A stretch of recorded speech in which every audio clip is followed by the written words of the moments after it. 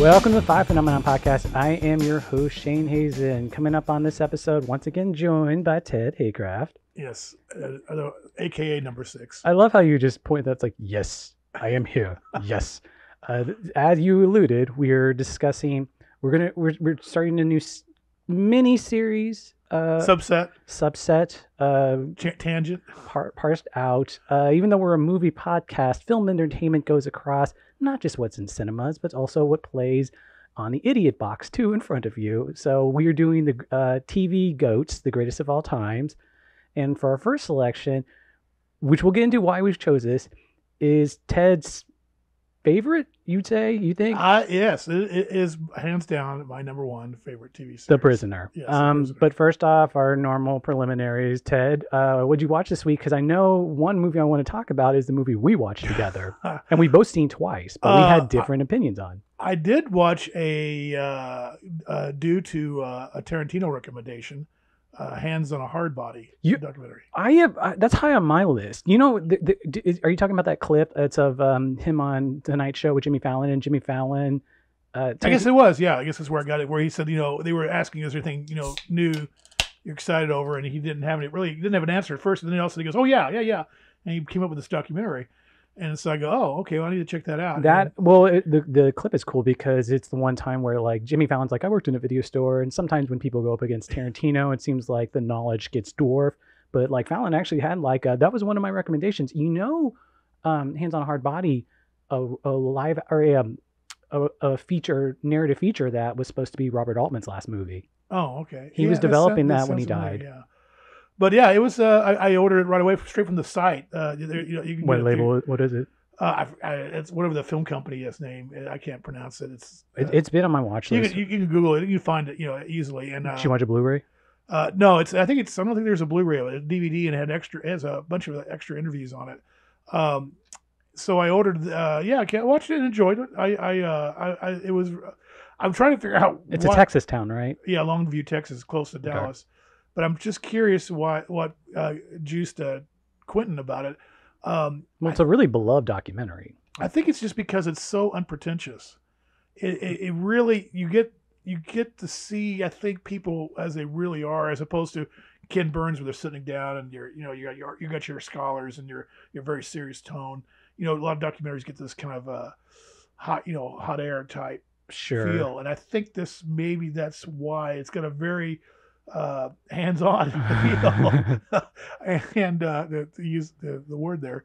But um, yeah, I it was enjoyable, and um, I also revisited. Uh, uh, I've been uh, kind of off and on. I'm going going on a Sherlock Holmes tear of, as of late, I saw you watched one of these. and I watched Murder by Decree. Got the new Blu-ray and of that. I recommend everyone check out our Letterboxd uh, uh, profiles where we, you can see what we're watching weekly. Yeah, too. you don't have to have an account. You can just type in Shane Hazen or Ted Haycraft, Yeah. and you see what we're watching. Murder by Decree. And Murder by Decree, yeah, it was uh, Bob Clark of all people. This is Porky's, the Christmas Story director, Mm.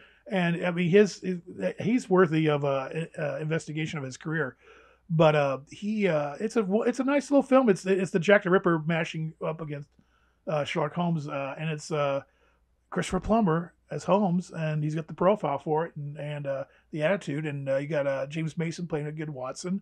And an all-star cast. Everybody's in it. Uh, one of my favorites, Frank Finlay from the Musketeer films Mm.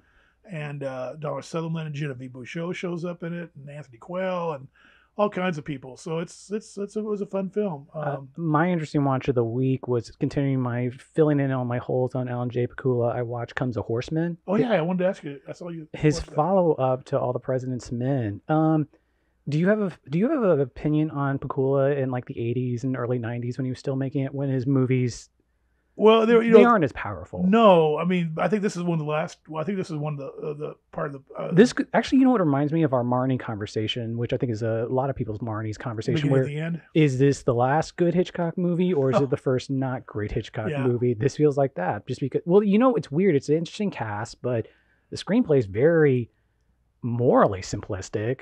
The score is what throws it off because you you come from all the President's Men, where like there's all these very few David Shire cues out in it that come in very very little, but most of the movies done in silence. And this has this kind of I don't want to say rah rah score, but it's compared to you know parallax view or this. It's like it's an omnipresent score that really throws the movie off. Hmm. and Uh, is very sincere in not a good way. I think I listen to that, but I, I But it, it is Gordon Willis. It's it seems like a lot of the crew kept. Uh, he is a Gordon Willis shot movie. Gordon Willis. I've seen two movies recently. He him that he shot mostly outdoors and during the daylight. And, and especially in this, when you see him shoot an interior, go back to an interior, it's just like it goes from like a nice outdoor shot, a decent outdoor overlit shot, to what you expect Gordon Willis, like painting inside by taking away light, and it's just there's no there's it's a massive difference between the interiors and the exteriors. But but the movie I wanted to talk about for this extended prologue, no. uh, we both watched this twice, I believe. I, I finished my second viewing last night, Suicide Squad, which we saw in IMAX, and I am still confounded. I really, I for the most part really liked it. I am confounded that you were indifferent to it.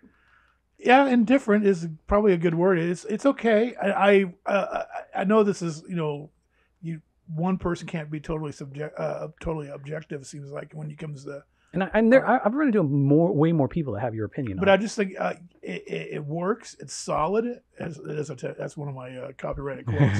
Solid. Uh, but I, I just didn't I just didn't get uh, excited about it uh, the way I do.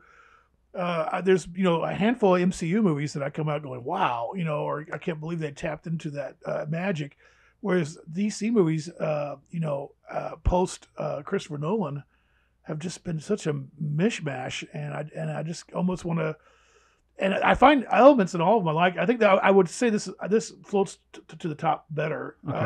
I, it's up there with Wonder Woman maybe, and and uh, I actually I think Aquaman's a solid film for what it is. Same. I, Uh, I- I'm surprised I like DC uh, universe movies more than you. Like, because Okay. I was really against them for a while because they were because Yeah, it, but- it, because it wasn't a reflection on the universe or the characters. It was the uh, Warner Brothers just didn't couldn't get their shit together. Yeah, I just think you know they just they they started out under the thinking they wanted to extend the Nolan feel and look, and got and Snyder directing these things and and they just can't shake it off yet. They have you know, and then they get then they're I think so, to my mind I may be wrong on this, and we'll and we'll see how it all comes out. There's some weird things with the Flash movie, but uh, uh Flashpoint. yeah, uh, I bet I think the Joker. You know, all of a sudden they're just like now they're just saying, "Oh, screw it, let's just do these one-offs and and and and you know go for broke with certain tones and different styles and different whatever the multiverse, you know." hmm And so I don't know. We'll just see where It's uh, it's funny how the invention of the multiverse and the 52 universes is perfect fodder for a studio that fires its whoever's in charge every six months. Yeah, yeah, uh, they're gonna they're gonna play that card, you know, and which is rightly so. But it's it's been kind of fun to see this uh, MCU experiment. I don't know how. I don't know how they, they're going to be able to contain it forever. like well, that. in our after movie talk, I quickly I put it on. You seem to agree with this. Superhero fatigue seemed like what I yeah, thought I you were so. Witnessing. that that could very well be. uh, you know, because I love comic books, but I've also most, you know, uh, there's uh, I I love the medium and I love and I love non superhero stuff. I know I you know I've had my I've had a fill of guys in underwear beating each other up. so I don't know, you know, uh, that it's been kind of interesting to see it come to fruition finally. yeah. But yeah, uh, fatigue. Uh, the other thing I remember saying was because it's a very hard R and it's some gore, and I, I and I was talking about Slither, James Gunn's other. I mean, a lot of his movies has some excessive gore in it, but and you you just like I'm not a gore person. I, yeah, I, I think I'm really not. I mean, I, I at the end of the day, uh, uh, it's oh, I mean, you know, Cronenberg uh, gore is interesting. I, uh, but I get squeamish. I get squeamish. You know, I, I'm not. I, I don't take. I mean, this, Well, is, you- this the- is cartoon gore. I mean, yeah, is, you know, there. I re- when I rewatched it last night, literally one person when they were thrown against a window turned into liquid, which like. The, the thing I found more interesting in my last watching was that uh, this is a type of morality where human life is pretty sacrificial and like stupid, but the, this is a movie about villains who you know are forced to be good guys and with the chip you know the chips in their brain and what was notable to me was at the end the thing that was the the bottom line where they're like and it keeps getting brought up multiple times in the movie is whenever children are endangered that's when they're like we can't do this. Children are endangered even though like everyone else's life is just up for grabs. And i found it notable i don't supposedly well i guess the timeline's right on that But when James Gunn got fired from Guardians of the Galaxy 3, what was the tweet that got him in the specific tweet that they trudged out that got him in trouble? Like there was multiple tweets, but the main one was him being jokey about pedophilia. No. Eh? Hmm. Nah, nothing there? Something there? Yeah. Anyway, do we want to move on to the prisoner? Sure.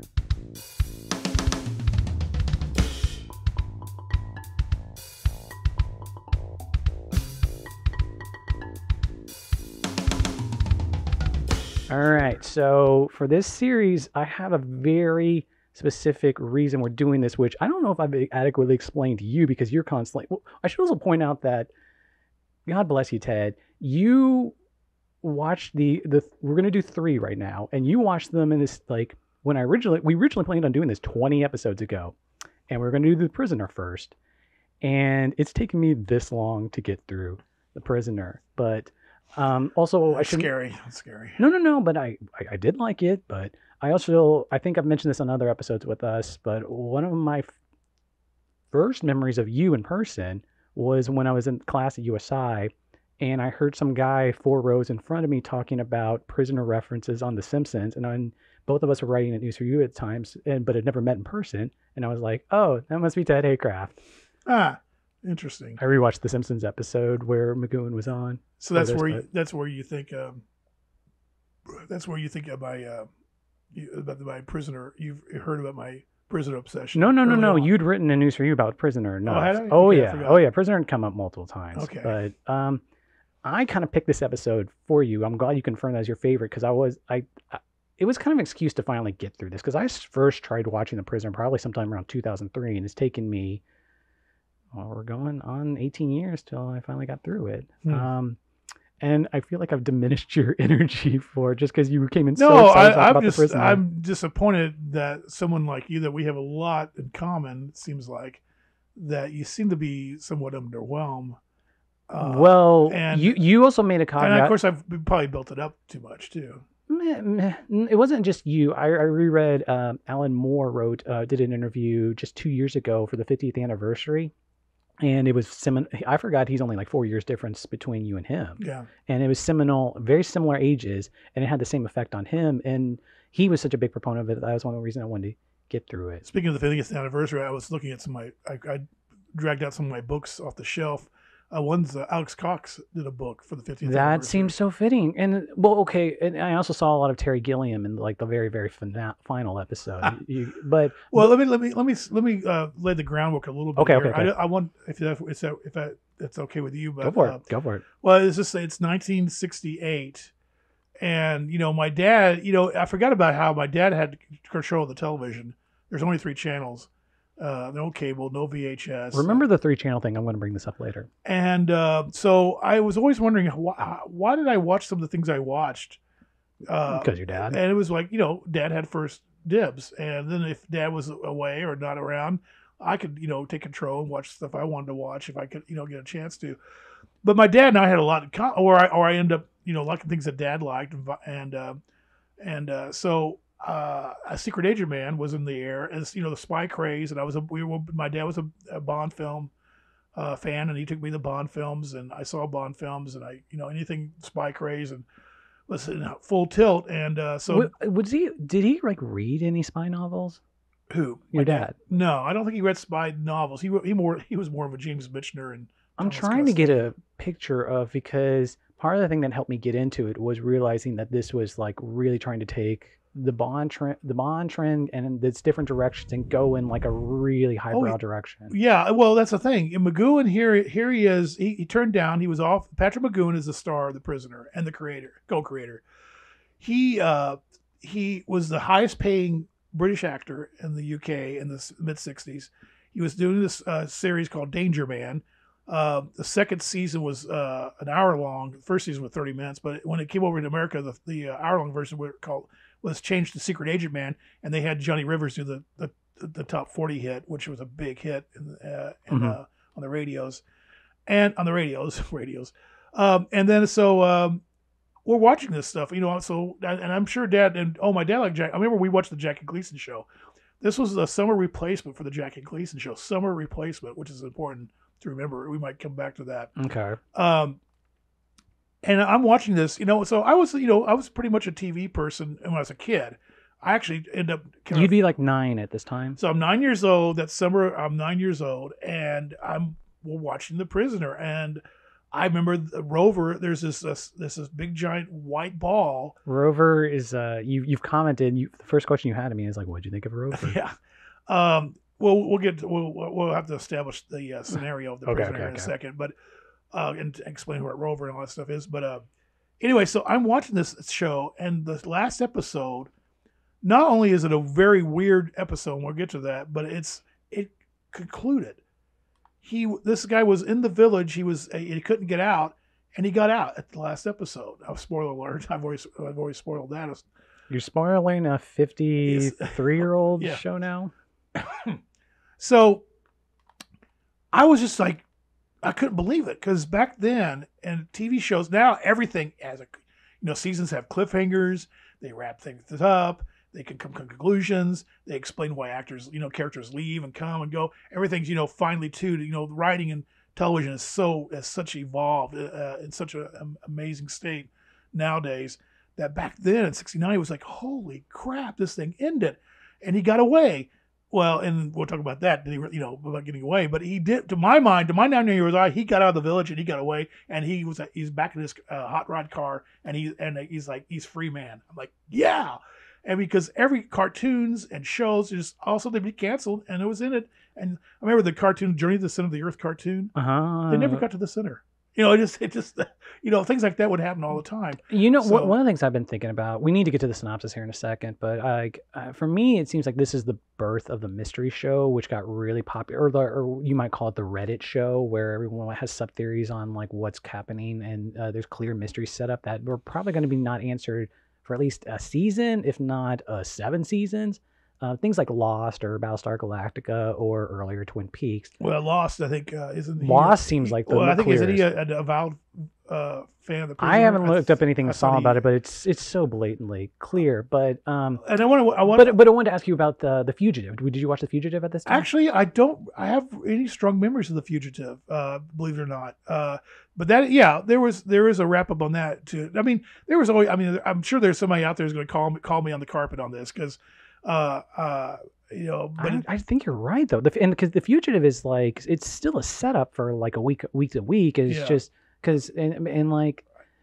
But, let's, yeah. let's get into the synopsis But because we also one- need to get thing, into one- one- one other thing, before we get into the synopsis, one other thing I wanted to just talk about is uh, why is this my favorite show, or the the, the, the mechanics of this being my favorite show. I, I I I use this quote all the time. I want to copyright it and trademark it. Tyranny of nostalgia. Uh, that uh, you know you you see these things when you're eight, nine, ten years old, and you uh, love them and you dwell on them and and you love to go back to them and stuff like that. Uh, but then you know if you go back to some of this stuff, it's pretty kiddie or silly or simplistic, and but you still love it because it's that tyranny of I hate that you're bringing this up now because I wanted to really dive into this, but we need to get to the synopsis. oh, okay, but I, I well, because Alan Moore was at the you know only diff- a few years difference. but I, I, I was going to say the main thing I was just going to say is that I'm so happy this that- holds up. that this holds up to to anybody this day. To my, I mean, it's kind of cool that some of that stuff that you did have, uh, you have a nostalgic feel for it, holds up. While a lot of stuff doesn't. You know. Anyway, go ahead. No, you you, I, you wanted to do the synopsis, right? Oh well, the synopsis is. Uh, I the- suck at synopsis synopses. Is, uh, basically, and you get this recapped every ep- opening of the prisoner.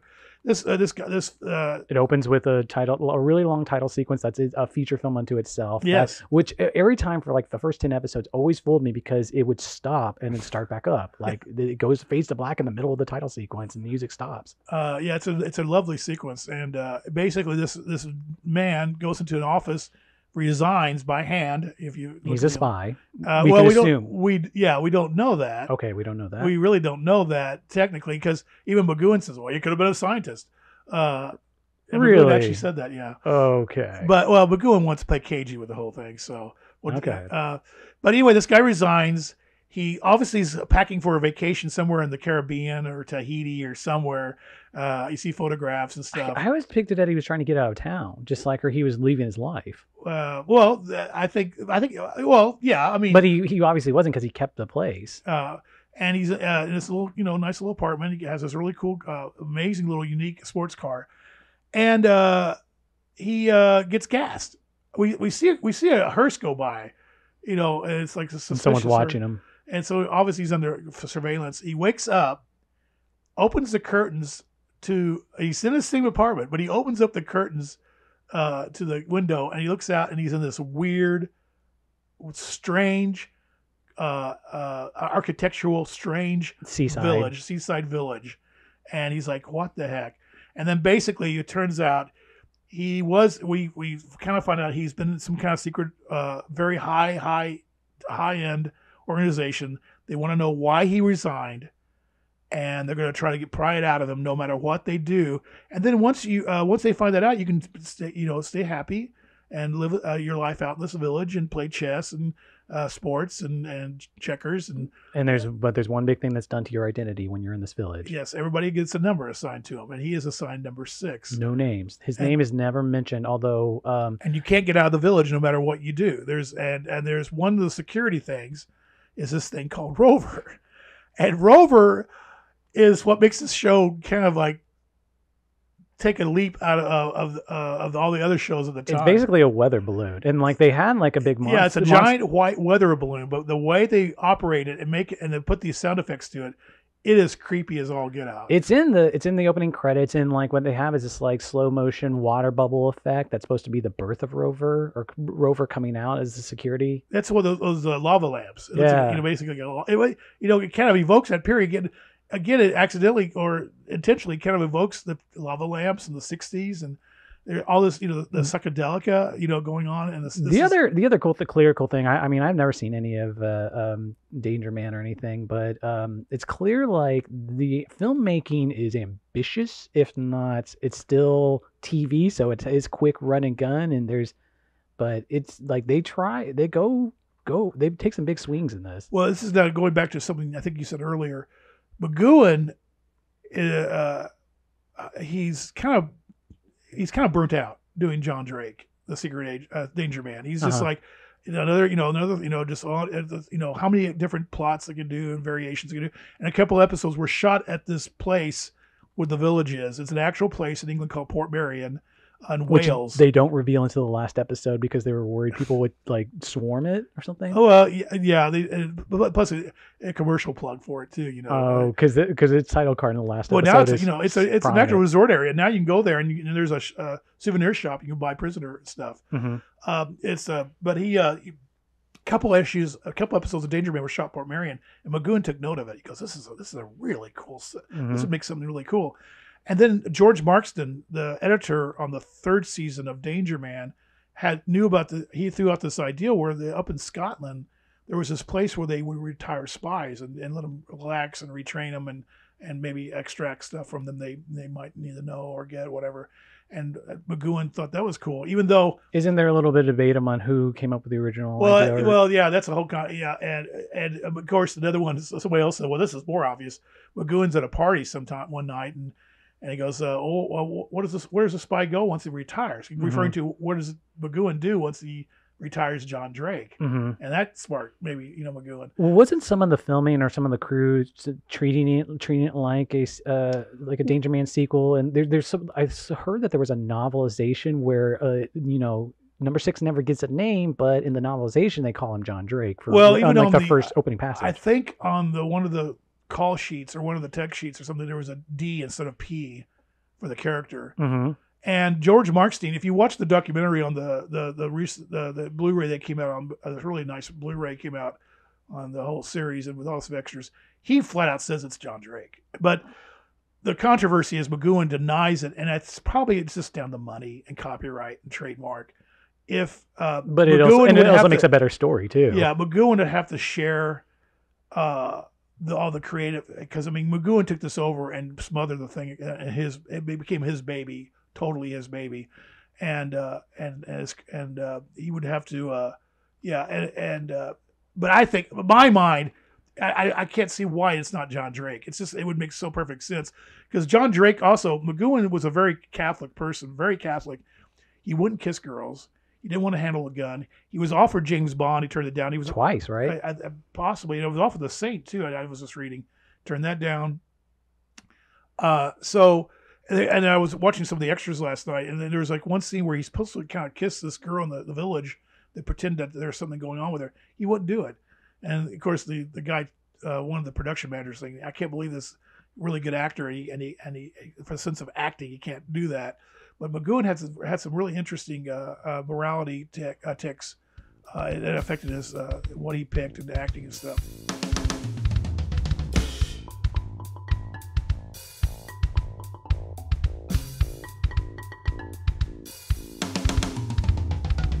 I read that he won some Emmys for Columbo, but he like because he wrote some Columbo He, episodes. direct, and he directed, he, he acted and directed in Columbo. I, I forgot. I wanted to watch those at those Yeah, since everyone on film yeah. Twitter loves Columbo right now. But um, did he ever? Nothing he did matched this, right? And No, after this, nothing he did, he- before or He, did a he did a, uh, a, a series. I think it was on NBC. Rafferty. It was a hospital. Uh, he played it probably like probably what uh, uh, Hugh Laurie was. Is it a Hugh Laurie House. house? I mean, but uh, he's he played uh, that, and he uh, that didn't it didn't uh, it got canceled or it didn't. Did he have season. creative control over that? No, I don't think. Uh, I don't think he was. And plus, he was a he was a hard person to get along with. I mean, if you read the stories about the production, of course, he was under the gun, money and, and time, and and uh, you know he'd drive. He people would quit, and people would get upset, and Leo McKern had a nervous breakdown, and uh, so yeah, he was an interesting person. Uh, I think somebody saw him in a restaurant one time and walked up to him and just wanted to say, "Hey, I really love your, your the person," and, uh, and he basically said "f off," you know, to him. Pull So- Alec McGinnis uh, on a Star Wars fans. Yeah, and he- people were just bugging him. But apparently, when uh, we talked about how the episode he ends, he escapes.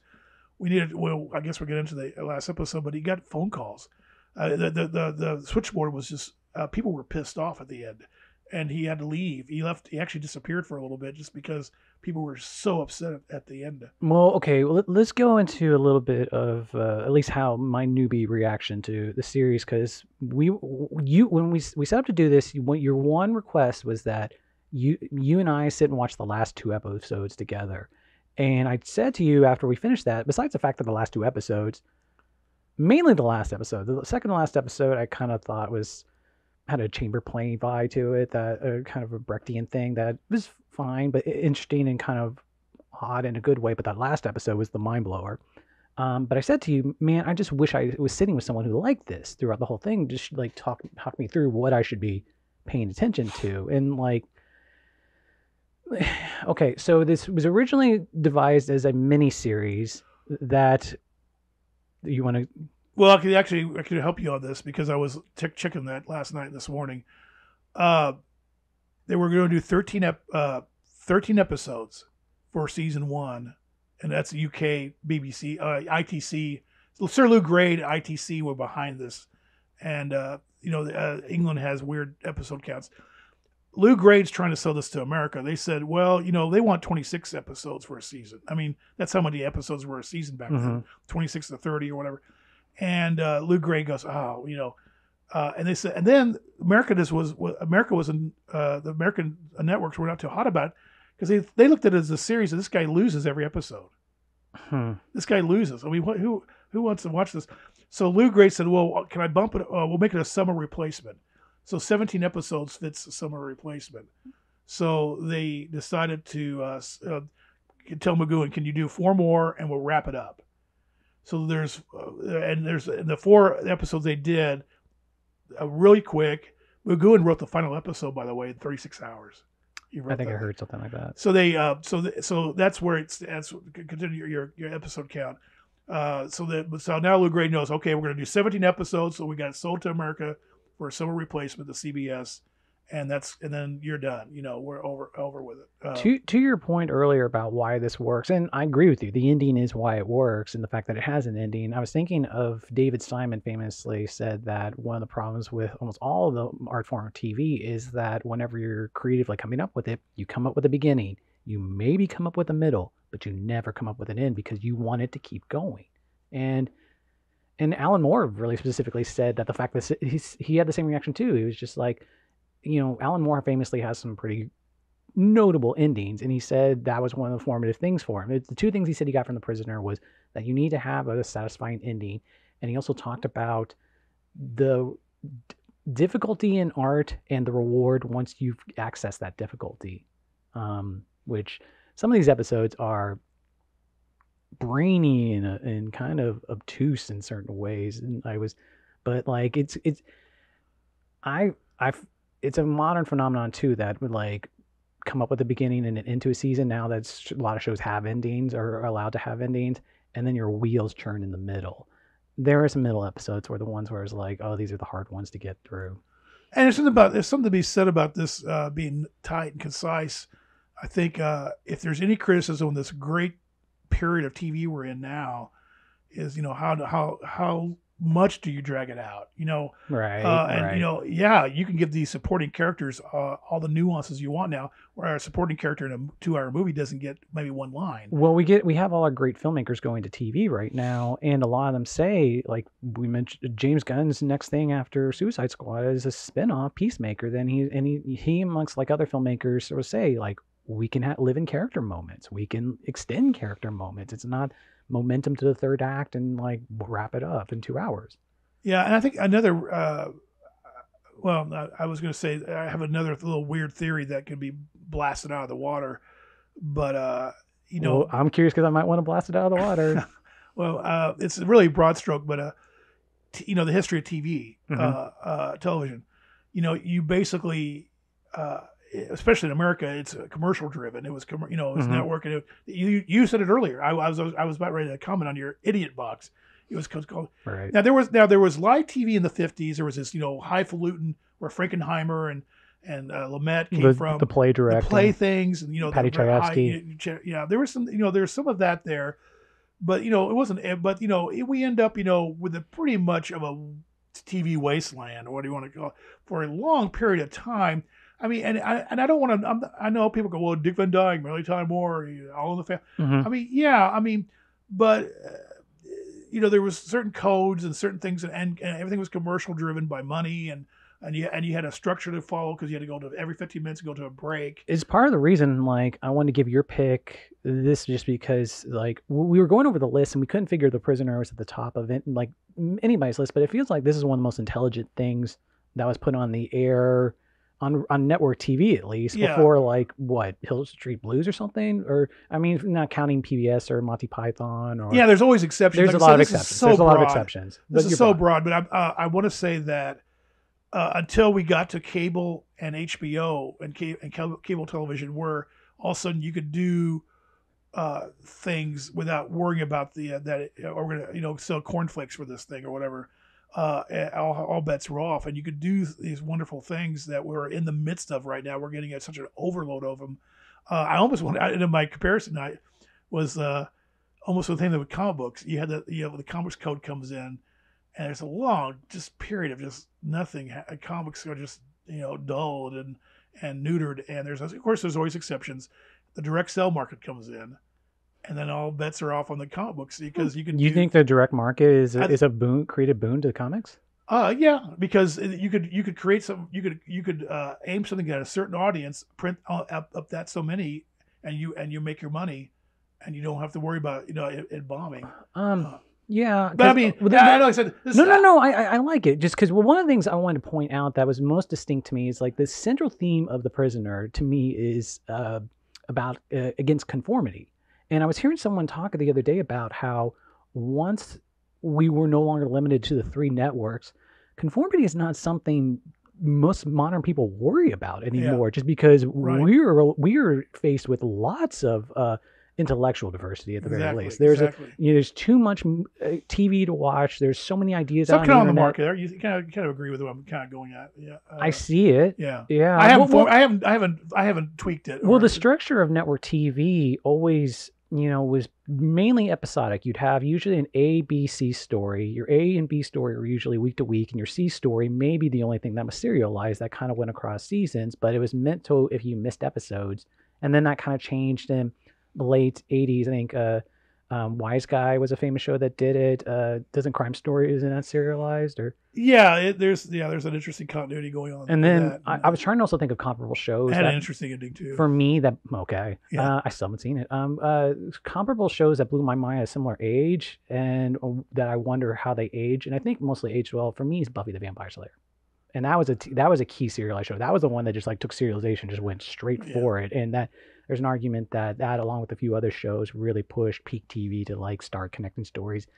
And even though Buffy didn't necessarily have an ending in mind at the beginning, more shows started to like come in mind just because the finales were there's so many finales that bomb. Like I mentioned Battlestar Galactica and Lost earlier. Those shows lost their reputations on their ending. And maybe The Prisoner has its reputation on a weak middle, but God, what an ending. Yeah, and and and even the week uh, episodes, there's always there's you know uh, I would I would challenge you to say even the ones that are kind of bonkers, they, they you got some you got you, yeah had, they cherry picked wonderful British actors to show up.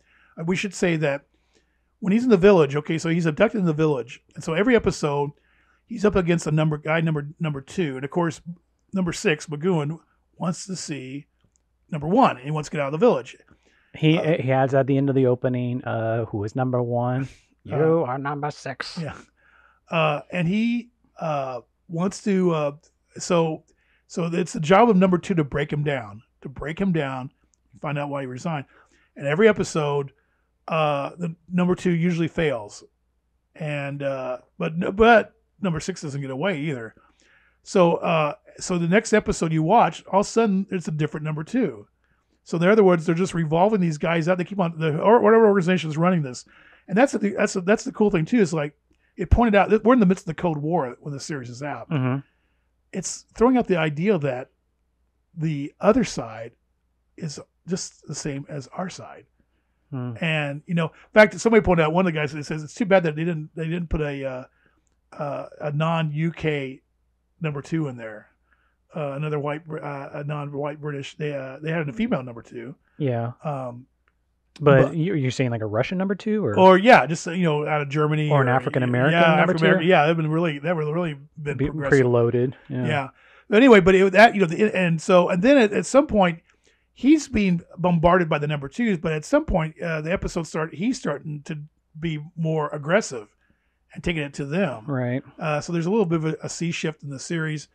Uh, but uh, so and again, you got this you got this wonderful set. Oh, uh, go ahead. Uh, Well, I, I think so what was your reaction overall? Well, you w- when I was in the early episodes, I mean, it's a very clear setup, and like it's the first episode where the or first or second episode where two like there's the clear changing of guards between number twos, right? It's the end of the Yeah. first episode.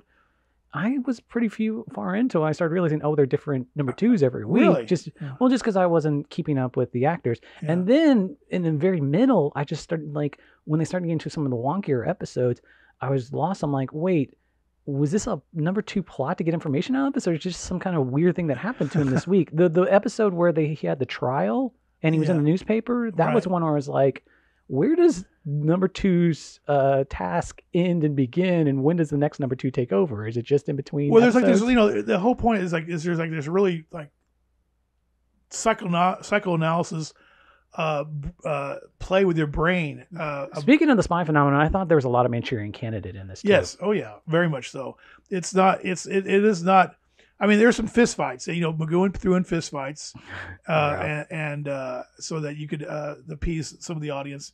But uh, There's yeah. also there's also the phenomenon which when we watched this yesterday, you were like, ah, that Blu-ray looks good, and like these things were broadcast often in black and white, but also in um, analog and in a SD, and were not meant to see been, be seen multiple times. So now when you get these really crisp, crisp new transfers of, I guess this would have been shot in 35, like it's just it's just the technique of the time, the sophistication technique, but you see.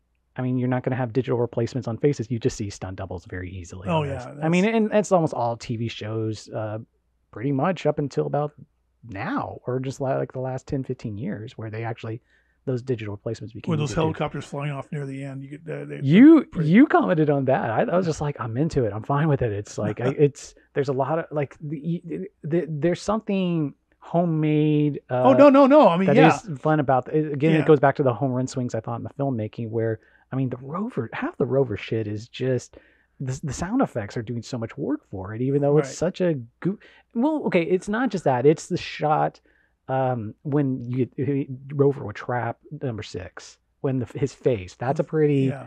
Like that's got to be a strange image It- to see when you're a kid. It's like it's like a, a giant bubblegum uh, is over your face. I- uh, I should stretched re- over your face. I should briefly mention you've never seen it, but I watched only the pilot just this week of the uh, modern remake of The Prisoner, starring uh, Ian yeah. McKellen, Jim Caviezel, Hayley Atwell, um, and you know your love of the number two concept, the revolving guest star.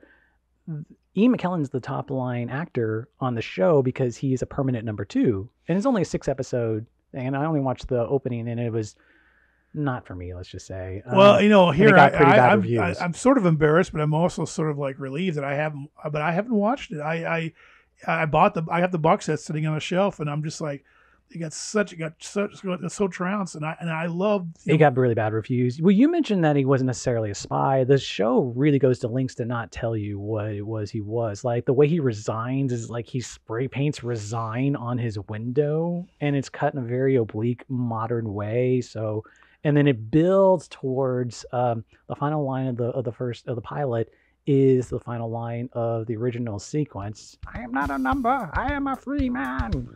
yeah.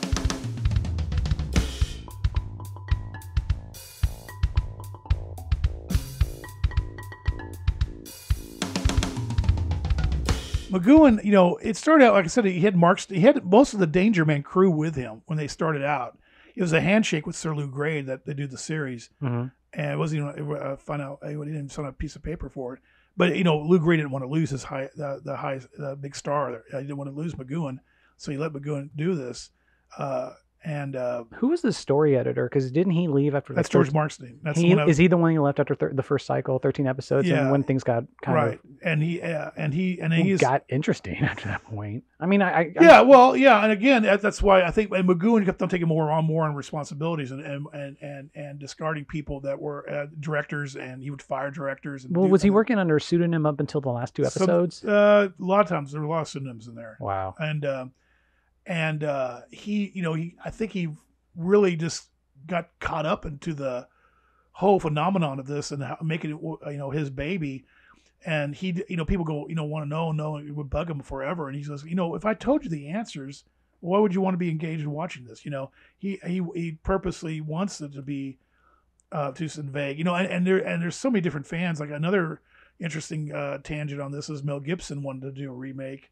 Oh, we uh, haven't. Oh, and or the Christopher Nolan remake that um uh was it David Peoples uh, wrote that Okay. was Christopher Nolan was really close to doing this. Yeah, there's uh, uh, there's I think there's certain generations of people that really you know like love this thing and just want to, and and Gibson wanted to do Avengers too, but and he wanted to do a, a Prisoner, and Gibson uh, of course uses McGoohan in uh, Braveheart. Right, right, you know, right. uh, and, That's where I knew McGoohan through for forever. yeah, and Time to Kill. Remember the uh, he's a judge and uh, I don't. I re-looked up scanners and remember, Oh, and a lot of it is like watching this. Like it's kind of like the William Shatner phenomenon. Even though William Shatner's been famous for his entire acting career after Star Trek, but when you go back to the original series of Star Trek, you forget how like young and pretty he looked. yeah McGoohan. Well, and uh, McGoohan w- worked with Welles on Moby Dick Rehearsed. Yeah, and, and, And- and Orson Welles has some really like he said like he was one of the most best stage presence he'd ever seen in an actor. and I want to, you know, a couple things uh, about that is that, and I think I threw this out to you originally, and I, I don't know if you were online with me on this or not.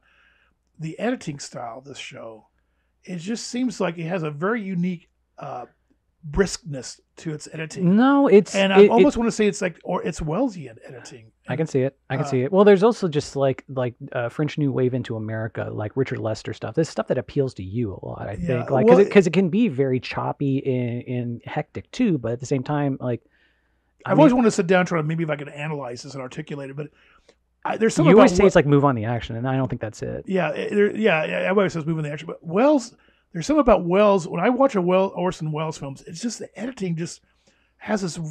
It just gives me this. I have a different uh, reaction to it. You can you can almost see in like other side of the wind what sections he did and didn't edit. right, and then I get the same sim, similar sense in the prisoner, and I'm just wondering. If, and or and McGoohan is a very intense actor, and Welles can be a very intense actor, uh, uh, highs and lows, and and and and and modulating the voice.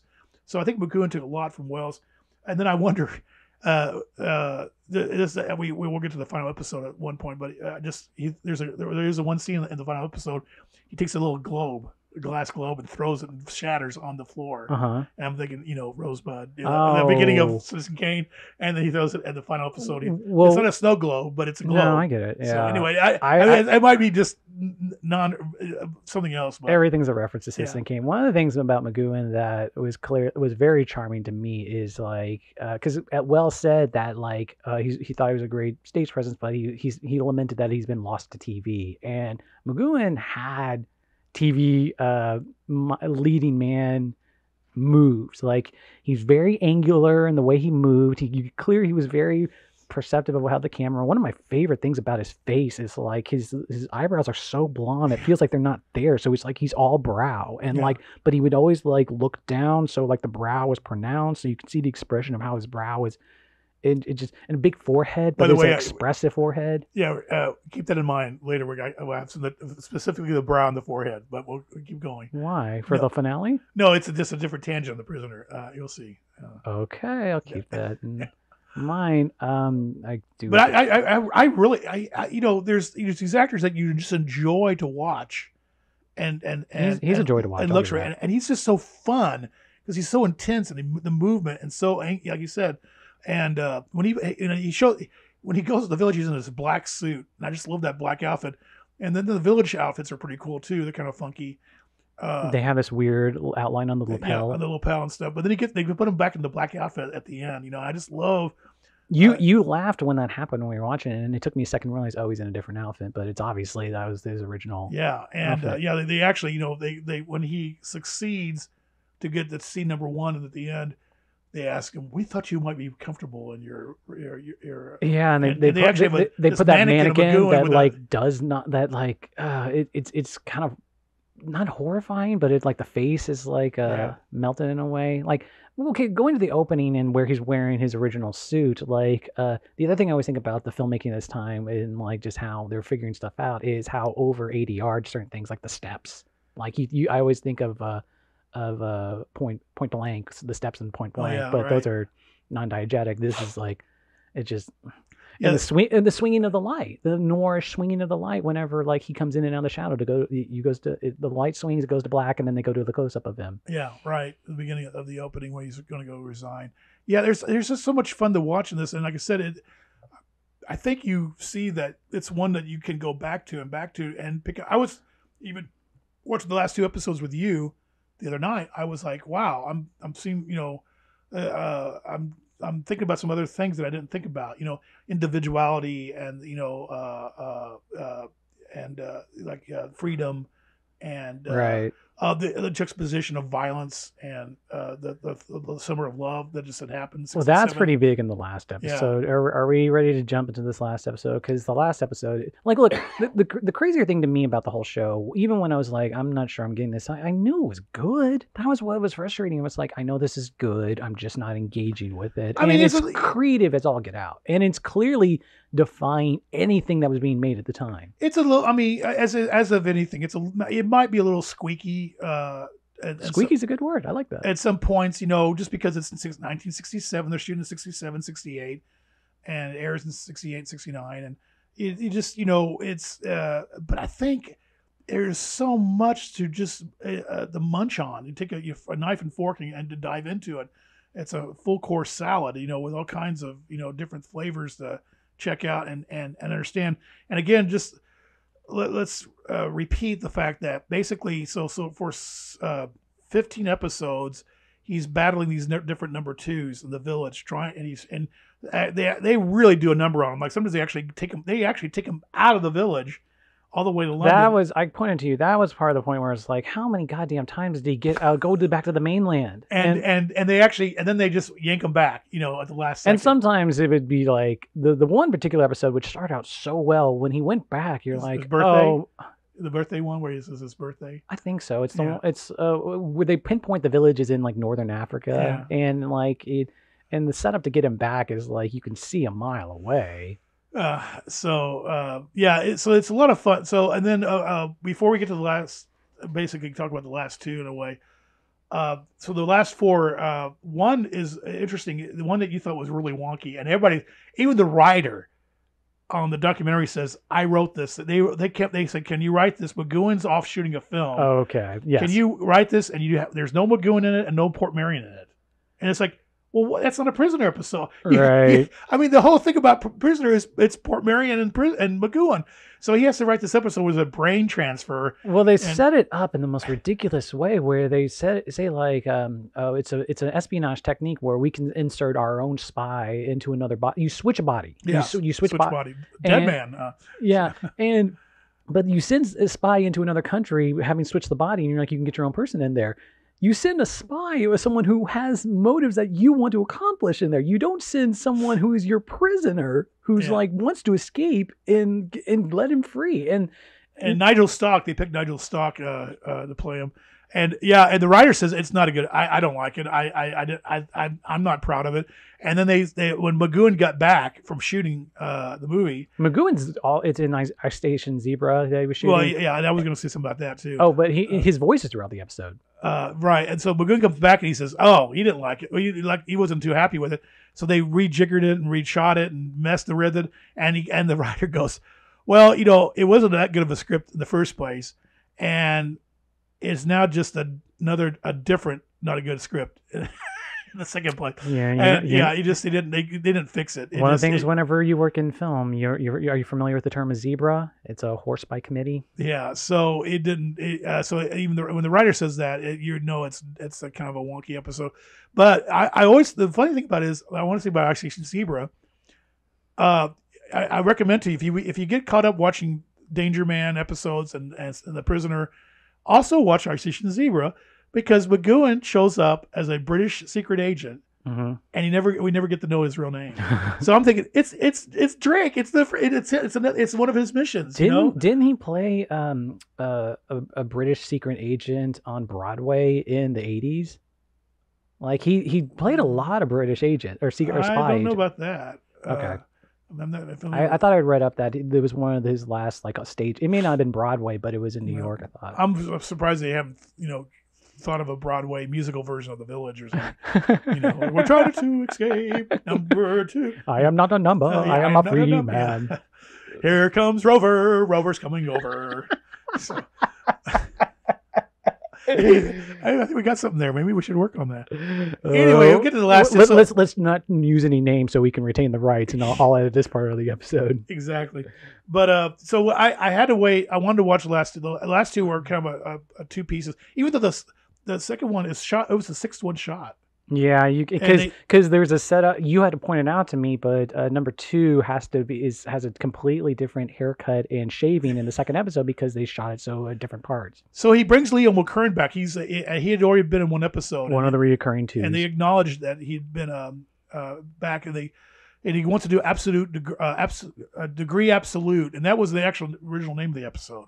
okay. uh, and then but they they changed the Fallout, uh, and it's meal. Uh, it's McKern decides, look, one of us, I'm going to lock him in this room at a certain time period. and Well, once upon a time's the second to last episode, right? And follow. oh, that's right. I'm sorry. They changed the once upon a time. You're right. I'm Okay. sorry. Uh, um, Sorry, I didn't mean to throw you off. uh, no. Uh, then so it's McCur- It's it's basically comes down to this one. Uh, it's like a like you said a Brechtian play. Uh, a one on one McGoohan and uh, Very very surreal. So yeah, and uh, very abstract. And so and so uh, it gets very well. They try. It's abstract. There's a period where it's like going through a, an average person's childhood. Yeah, and with abstract elements, they're just like a a, a, a, seesaw. Uh, they're on a sawhorse. That's a, bomber in the World War II, Oh yeah. and things like that. And um, oh, we should we, we should mention. Uh, there's no uh, so there's no reoccurring cast except for one character, the butler, uh, and he doesn't talk. This is and, he, and he's uh, uh, he's uh, what's the proper term? Uh, little people, uh, Sure. uh, little person. Sorry, can't help you there. Um, but uh, he, uh, he and he and uh, he's throughout all the episodes, and he's in the room with them. And then the last two episodes has the final certain characters come back. Yeah. Uh, then uh, and then there's a there's a reoccurring guy called supervisor. The one takes him and puts him in a suit. Uh, you see him. He's he's in. The the, the, original the the original uh, organization he worked for that that's in the credits. They're in like uh one or two episodes, right? Uh, I don't think so. I think uh, they they keep on calling it the general, the colonel. They got they keep on they didn't stay consistent with that. Okay. Um, so uh, anyway, so they basically one of them's going to have to die, and McKern loses, and he dies. And he dies in a very Weird, odd way, yeah. odd way. Yeah, we don't know. I mean, again, all of a sudden you're not like all of a sudden the questions are starting to pile up now. It's getting really kind of weird. I mean, you can kind of like it seems to be somewhat grounded, but now we're getting into some weird territory. Well, we f- forget to mention that uh, uh, two more episodes that get really weird. The girl who was death. Oh, I love that episode Yeah. until the end. Yeah, the Napoleon thing, and then uh, and then the there's a Western episode. Yeah. and all of a sudden it, it opens up as a Western, and uh, It, it kind of has a Westworld, few years before Westworld vibe. Oh, Right. The, oh, the girl who was death. I mentioned this on our episode about uh, um, uh, all that jazz, where Jessica Lange plays death in there, and I was like, oh, that must be a precursor to Neil Gaiman's death, and this beats that by like a decade. Even though she's not really death, she's Yeah. but her name's death, and she's a very cute girl Yeah. who's death.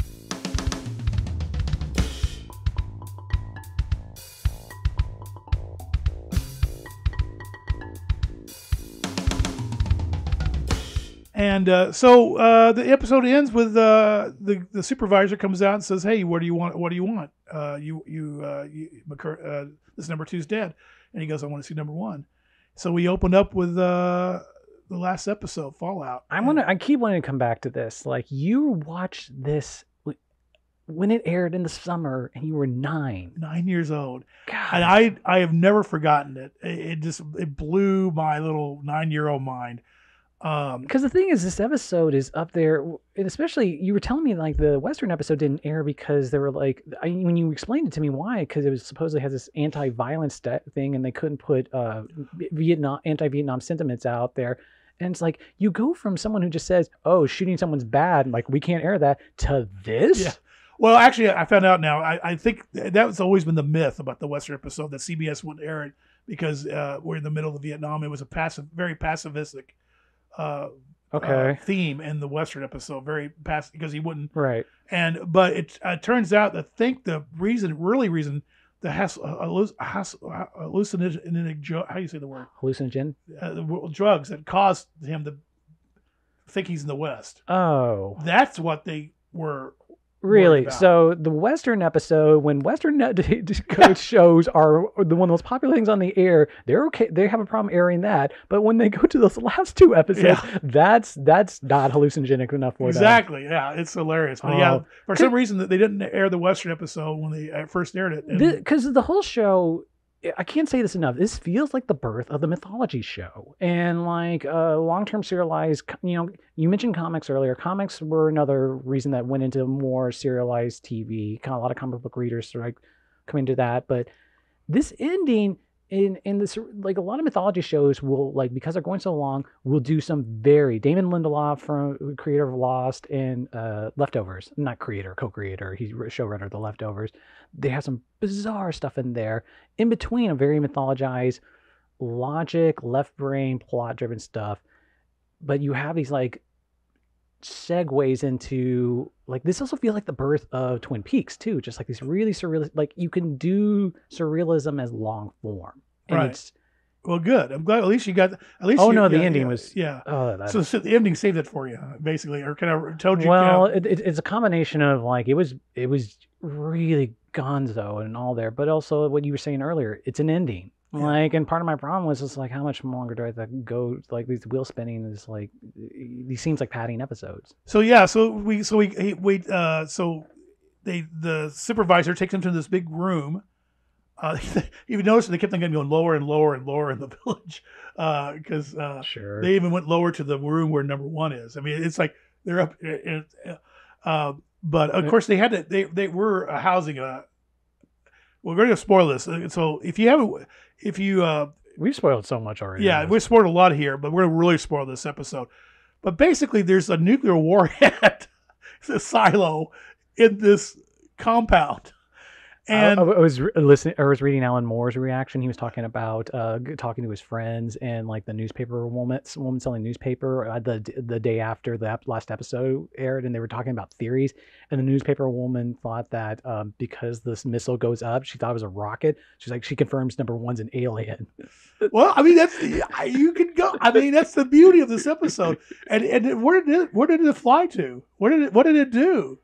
Where An- another village. uh, or, or it had to go to well, if it- if it- to get to the real ending. It had to go to a more centralized part of the planet where Yeah. it can really. Well, there's a, there's another thing I need to tell you about. uh, it this- journeys to the center of the earth. but uh, the uh, so uh, so he's he is awarded he, either he can become the leader of the village or he can go free. And they give him money and passports and all this stuff. And there's this tribunal judge who we saw uh, the actor playing the Napoleon and the lady that was death. He's playing this wonderful judge. I think it's Kenneth McKellen. I don't know what. He's a wonderful actor, uh, just perfect for this judge.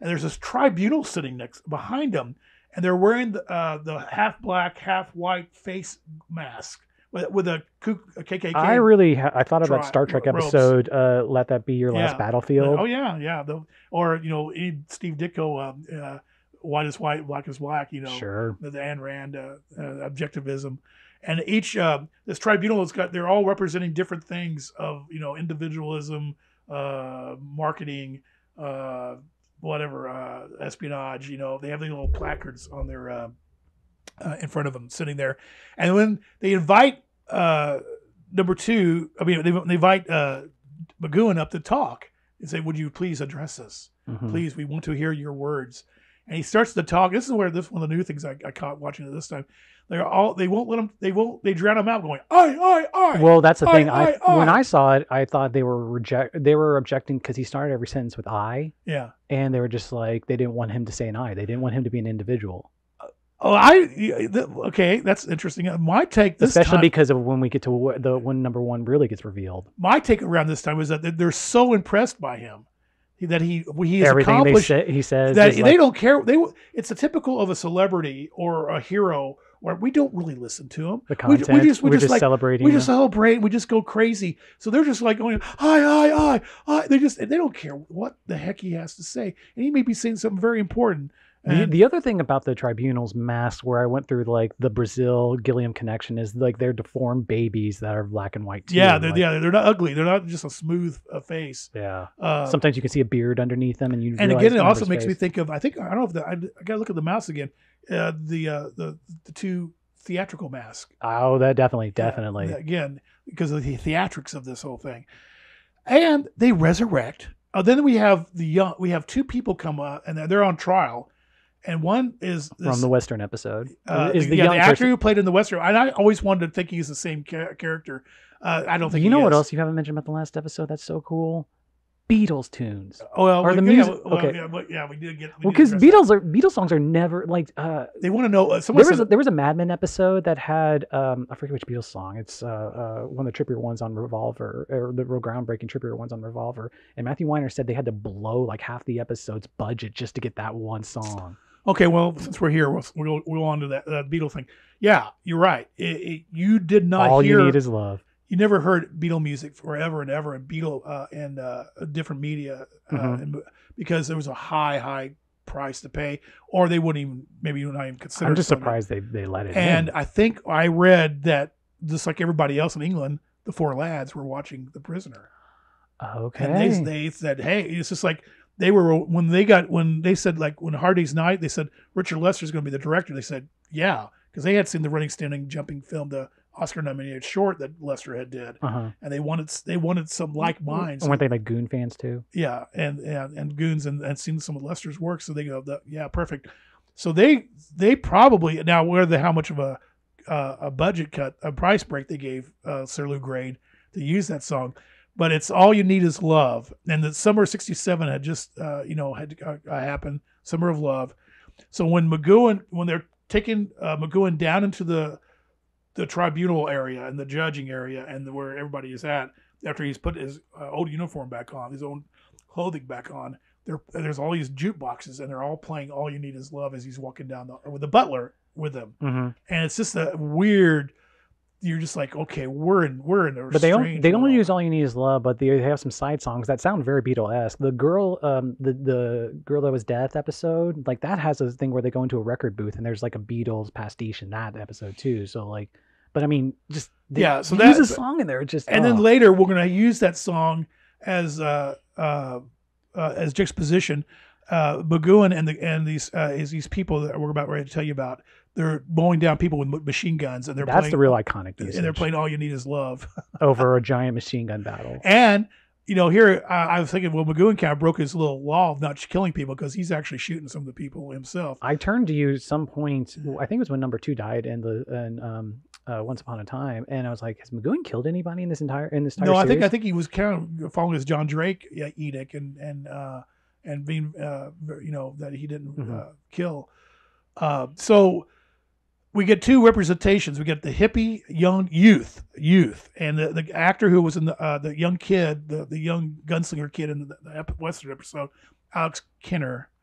He's back, and he is uh, he. And again, it's kind of funny. I also uh, it's it makes me think of uh, Jack Kirby, which is going to play into this later. always comes to Jack Kirby. Uh, but uh, Jack's, you know, some of people's ideal of what a hippie is, gets when you're when they're they're in the middle age, they don't rep- the representation's a little wonky. So he's got this like top hat, a little he looked like a droog. you know, or an el- uh, oversized elf, uh, and he's singing "Them Bones, Them Bones," and he go drives the tribunal crazy. But he's youth, and he represents the youth, and they're gonna uh, they can't they they and there's a whole I still don't understand why they're they're trying the youth either. Too, and then we get uh, the establishment, and they resurrect Leo McKern, and he represents the establishment. where he gets his uh, shave and haircut. yeah, all of a sudden, part of the resurrection is that he they his hair color is different, and he gets a shave. Well, it's because McKern. Uh, this is uh, there's been months between these two episodes were shot. right. McKern has done other movies and work and stuff, so they had to explain. But it actually fits. I think it actually fits well. It's part of the weird resurrection. They, they brought him back from the dead. Yeah. So I mean, why not just go crazy and make it? You know, all these different elements help to make him come Well, back. the espionage trope of different faces. Too. Right. And so he's like going, "Oh, I'm back," and uh, and then he goes, "Oh, you made it. Uh, you know, you you succeeded." And and uh, but they go, he is uh, he's this is the establishment that actually re- revolts in his own way, and it causes trouble. So they're going to put him on trial. So we're going to put we're going to okay, we're going to suspend these two guys, and now we're going to talk to uh, number six, uh, who's now one, and he goes, "I want to see number one." He goes to see that. They take him to see number one. Well, Yeah. I mean, the, the two trials are they work as a metaphor, but then he goes Yeah. Uh, to his real number one, and we see the real number one. yeah. Do we say it? I, I think. Well, well, as well. Well, first he pulls off. He goes and the, guy's dressed like the tribunal guys, the white Uh huh. black man. He pulls the mask off, and it's a monkey mask. Uh huh. And So- he pulls one more mask And off. then the- are you? And then you know that will make of that will what you will. You, you, you- there's theories about that. He pulls that mask off. Do we do we say, dare say it? yeah, it's McGoohan. It's him.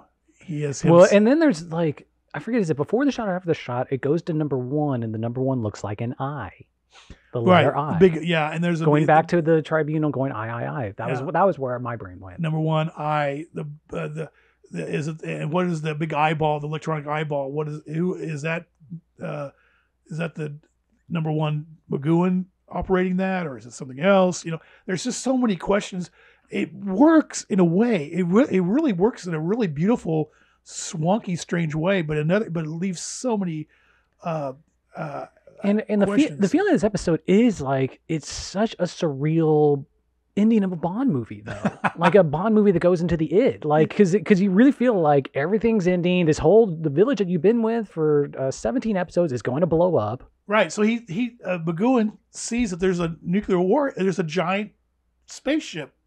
uh, Nuclear warhead. What do you what call you? What have you? What do you- What do you? and he he just he sets it off, and it's and all of a sudden the the alert the alert goes off. Desert the village. Get out. So everybody every there's five thousand helicopters flying out. Everybody's running for their life, and this thing's uh, up. And we see the death of Rover with a uh, uh, Carmen Miranda song. I I, I, I, I love you very Ro- much. Rover I, just- I, I, I, I I love you. very Yeah, good point. So- Rover just kind of like sucks up. yeah, into a lava pit. You know, just you just you know, oh right. and and and uh, and, and then and we were it, foreshadowing planting, as Eric calls it in his film class, planting. Pass gets And once upon a time, the time they told us this this in the in the room where Leo McKern and McGoohan were going one on one. There was a detachable trailer. There was a, depa- a detachable trailer, and uh, I didn't realize until the, the last. and then so all of a sudden, McGoohan, uh, the kid, youth, the Leo McKern, the established, the butler, uh, d- detach. so everyone they go, escaped. fly- they go driving off in the trailer. Everyone escapes the village mostly out of helicopters. Number one out of a giant rocket that might be an alien spaceship. Well, do we, I, we don't know what the Number one, It- well, we don't know. We really don't. There's a lot of we don't knows. But um, the truck goes to civilization, even though someone drives by it. And it's an, again, I have that feeling. I'm, I'm happy that there's an ending, and this feels like an ending. But it's also like, dude, he's done this like three times. Or do we want to? Well, then so The ending is the yeah. Well, uh, it's it's just it's just it's it's, cool. wonderful because you got the kid gets off early and he starts thumbing or right. He's he's youth. He's he's free. He just he's gonna wing it. You know. okay. Uh, then we get to London and there's Parliament. Mhm. And uh, number two is oh he's a member of Parliament. He's the establishment. He goes in and next time we see him he's all dressed up and he's waving. He's going back into be into po- politics. This this in, this last scene's also beautifully shot too because Yeah. it's in uh, you know. they kind of I, I didn't get a permit either. They got a permit after the fact. Oh, when they shot right. that stuff in London. And it has a really the music and McGoohan it talks to a cop and it's all done silence and mime. And I still don't uh, understand what he was saying to the cop, Yeah. but And uh, they leave. They just they walk away from the uh, the trailer and he takes the butler and they're running across the street. They get back to his apartment and his, his car's back ready to go for him. the same car that he drove off from. And uh, we see a hearse drive by. yes, Ooh. but it, it's, And- it's not the same shot. But the hearse just kind of Yeah. drives by in the and foreground. then the butler is gonna, I guess, stay with him. But as the butler goes into the house, the door electronically opens and closes, just like with the same sound effect that his residents in the village did. all the, the the doors in the village.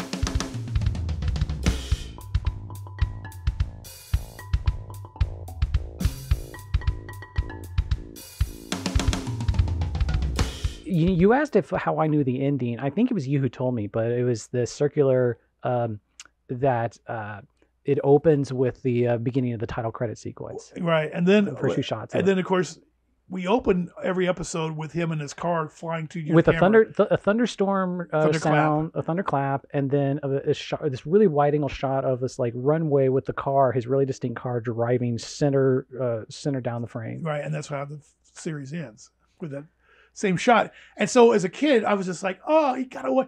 I, the funny thing is, I don't think. Uh, well, I don't know if I was smart enough at nine years old, but I I, don't think I really caught the door doing that. Uh, and, and- and even if. I did, I don't know if I was smart enough to go put that maybe that together. I'm not sure.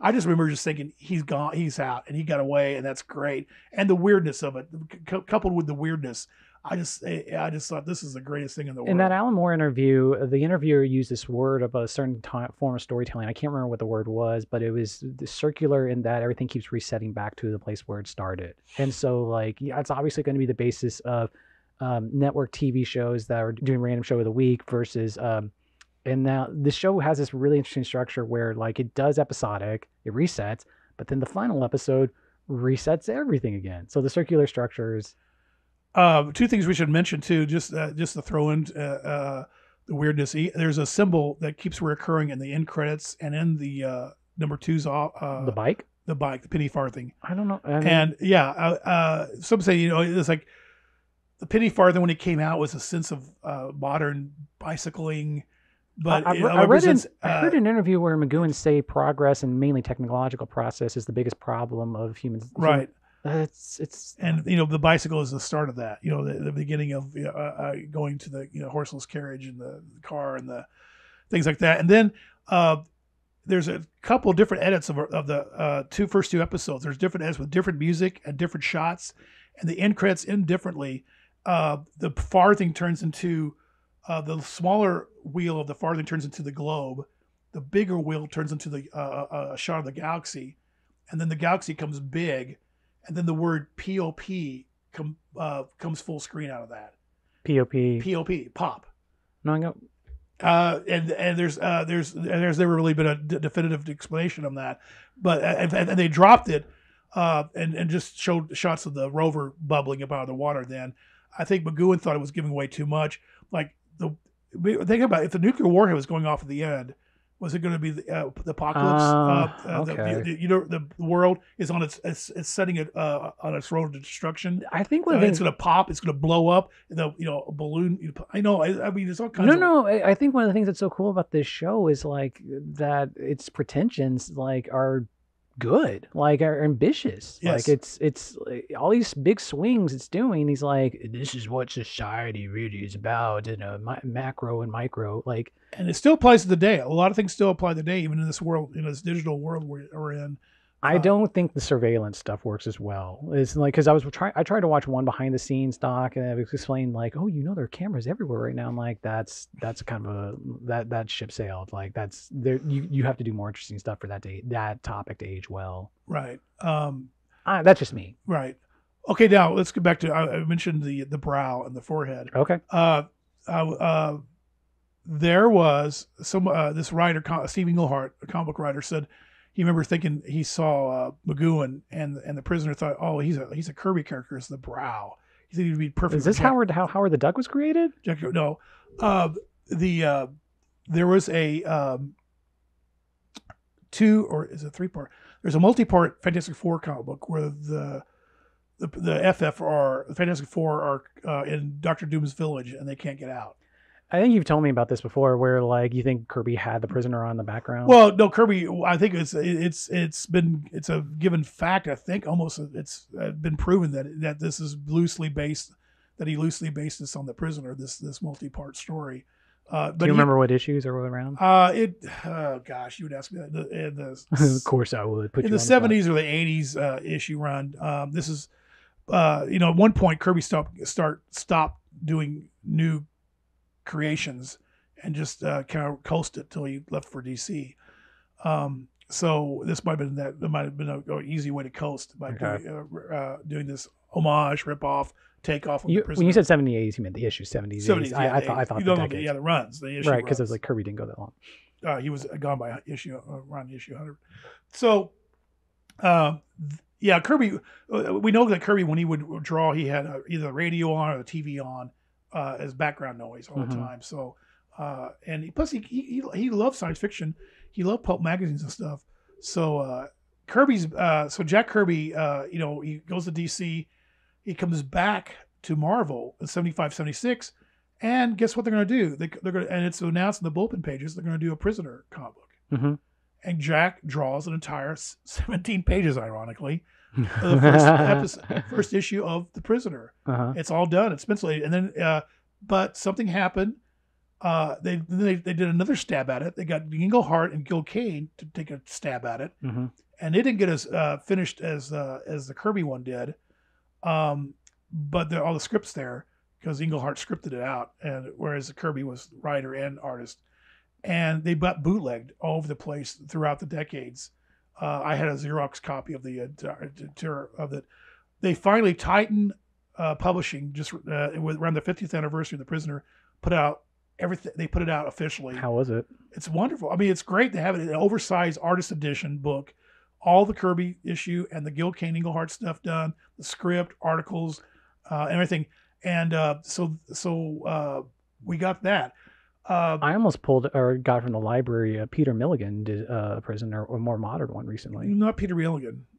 I, I thought it was the Shade and the Changing Man guy. no, uh, Dean Motter. You think of Dean Motter? No, Peter Milligan's the one I'm thinking of. Well, I, I The one I saw. uh, he did. Peter Milligan did a he did a new shade, The Changing Man, but I don't think he ever did a Prisoner. No. Um, because then in 88, 89, after Dark Knight and Watchmen and all the prestige format stuff was get really hot, Uh huh. they uh, DC got the rights to The Prisoner, and they had Dean Motter, the, the creator of Mister X. I'm talking about something that was like within the last few years. Yeah, that's not. Oh, is that Milligan writing that? I don't think it's. I think it's a different Milligan. I don't think it's the same Milligan. Could be. Um, I, I just I, didn't, I didn't. I didn't write down. I, I have notes here, but I didn't write down the writer and artist. Well, you're jumping ahead on me. Uh, the Dean Motter came out. Uh, it was a prestige format. It was Mhm. everything was uh, really hot. And they got, and uh, it's a really interesting story where uh, uh, it turns out the village is in ruins, and number uh, uh, number uh, uh, McGoohan's character, the, who do you want to call him, Drake, number six, what do you want? He's still there. He's got a beard and everything, and they go back and find him there. And the Leo McKern number two shows up, and they go back to battling each other again in this uh, graphic novel. Hmm. And then in 2000, 2018, the one you're talking about is a Titan, along with the Kirby and Gil Kane reprint Okay. and and the Dean Motter. I didn't. reprint. I didn't read any of this. They saw it. reprinted. They did a brand new series and put it in a graphic novel. And I think it is Milligan. I don't know if it's the same Peter. I'll have to check that. That's, now you got me I threw you off. I threw you off. Um, Uh, but one, uh, one of the things so that there's basically there's a comic adaptations of their interesting ones. One of the things in the Prisoner remake is it opens with Caviezel finding a guy that's dressed in the original TV uh, the, the outfit, like the original uh, Village uh, Numbers outfit with the line outline. right, lapels. which you, of course you can get one on eBay or some there are places obviously. And there's a there's fanzines now, and there's a, like I said, a souvenir shop at Portmeirion. And in fact, when I went to England, uh, I came up with my own little agenda, and I was going to try to get up to Wales and, and go to Portmeirion, but I didn't do it. I just wish- wa- watch out for any weather balloons coming after you. I want to say real quickly, Alan Moore also said that uh, he's put uh, two random prisoner references in uh, his work. He has one in uh, League of Extraordinary Gentlemen Black Dossier, which I don't remember.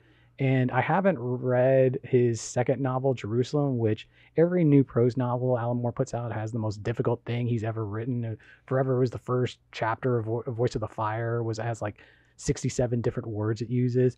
And then most people in Jerusalem have commented on there's this one chapter that's about James Joyce's daughter in a- an asylum around 1963 or so.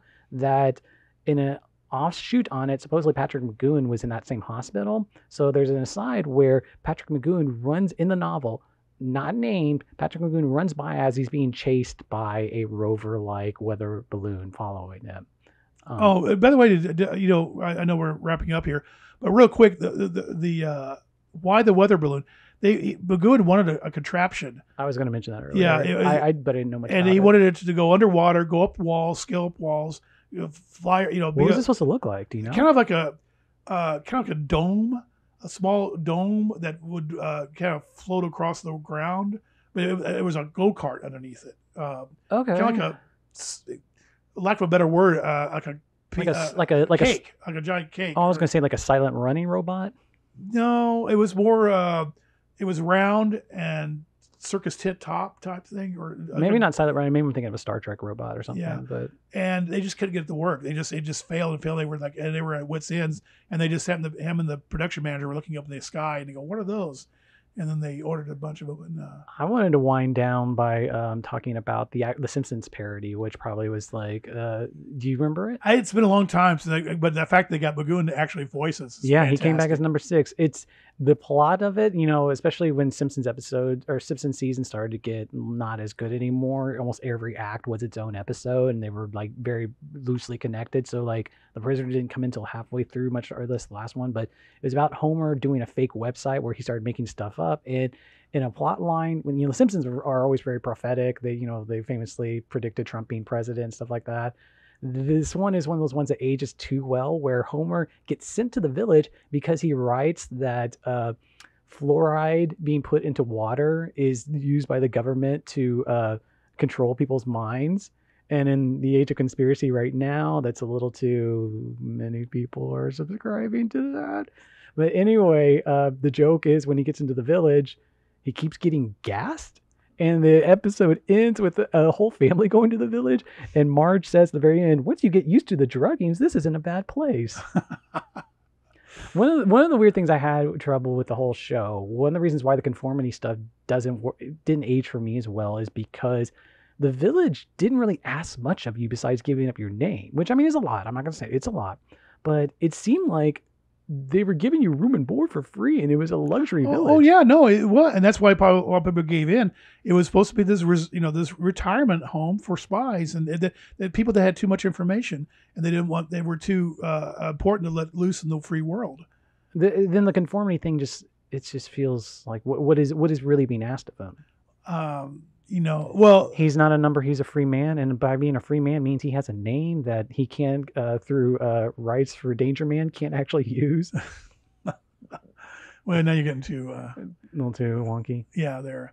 But no, I mean, it, but I It, it's great show. I, I there's there's a it bad plays with different subject uh, every episode which we didn't cover in, in into detail but each one uh, uh, tackles a different little subject to think about and chew on you know uh, uh, psychoanalysis drugs uh, uh, I was not catching that. that really, you didn't. Uh, no, I think that would have helped me if you were there. What like I think there's this. I think there's. A. I think there's. I think he's tackling little subject matters that are you know poking at it and and I but not giving ju- answers. it's- It's, it's- not going to give you answers. it doesn't give you answers, but it just seemed like it was a little inconsistent. Like you, by the time you get to like the uh, the judicial system episode, which I did get, then you get to the Western episode next, and you're like, oh, how does this work? And the election, ep- there's an election episode. He's Election episode, office. You know, we're talking about politics. You know, he's having he's having his fun, uh, kind of poking at all these different uh, established things that we just take for granted. I'm not sure the metaphors work as an accurate representation, but I admire and was really impressed by the fact that he was doing it at this time. Like the swings he was making when TV was what it was right now, from what I know about it, which isn't, you know, my, my limited idea of, of 60s TV's Green Acres. So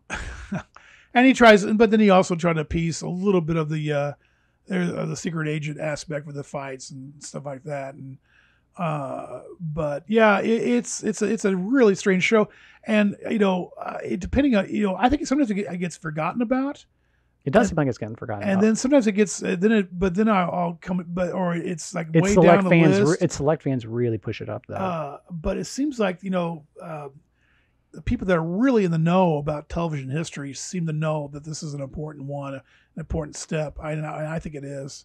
But it, but I just I think it's fun, and and, I, and if not for anything uh, better, just watch the, the fun watching Magoo and, and the the village, the Portmeirion set's wonderful, and uh, uh, the thing that really exists is amazing, and just the music and. Uh, uh, you get to see uh, who's who of British actors coming through there. It's Uh, wonderful. a Kafka s Bond movie, you know. then uh, I, it's it, I yeah. Even with my tepid recommendation, I'm still like, like it's it's a goat. I I, I can. Well, uh, hopefully, maybe uh, you know, if you live long enough and where the world stays around long enough, you'll you revisit, come back to you'll it. revisit the village, and hopefully, maybe you'll get a, a better taste of it. Hope so.